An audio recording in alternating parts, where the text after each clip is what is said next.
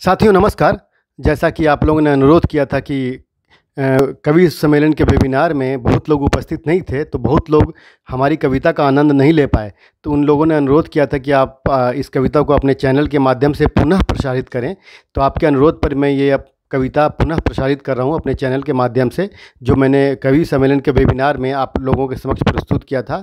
तो आइए इसको पुनः सुनते हैं और आनंद लेते हैं। आशा है ये कविता आपको ज़रूर पसंद आएगी। तो लीजिए सुनते हैं और आनंद लेते हैं। हमारे घर का पता नहीं है, ज़िंदगी दर दर भटक रही है।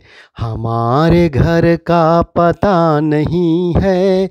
ज़िंदगी दर दर भटक रही है।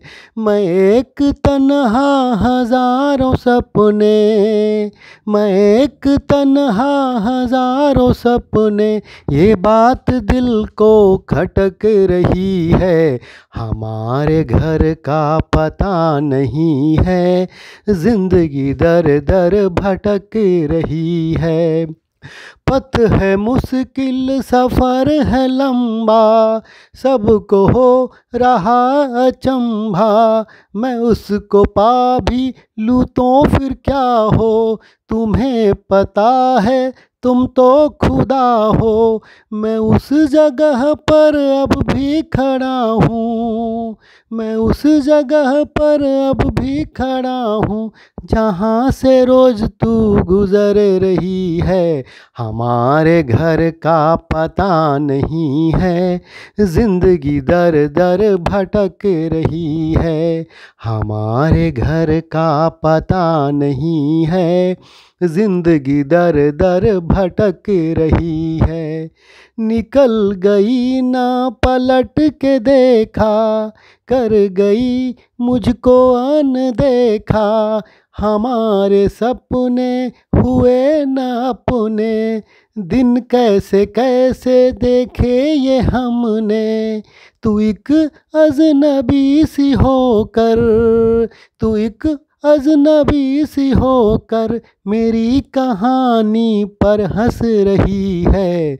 हमारे घर का पता नहीं है।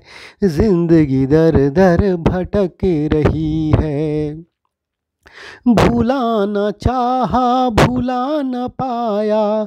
जख्म प्यारे जो तुमसे पाया। मैं अजनबी ये शहर बेगाना। उसमें भटकता है ये दीवाना। दिल के अंदर पुरानी बातें, दिल के अंदर पुरानी बातें। खुशियों का मंजर ला रही है। हमारे घर का पता नहीं है। ज़िंदगी दर दर भटक रही है। हमारे घर का पता नहीं है। ज़िंदगी दर दर भटक रही है। मैं एक तनहा हज़ारों सपने ये बात दिल को खटक रही है। हमारे घर का पता नहीं है। ज़िंदगी दर दर भटक रही है।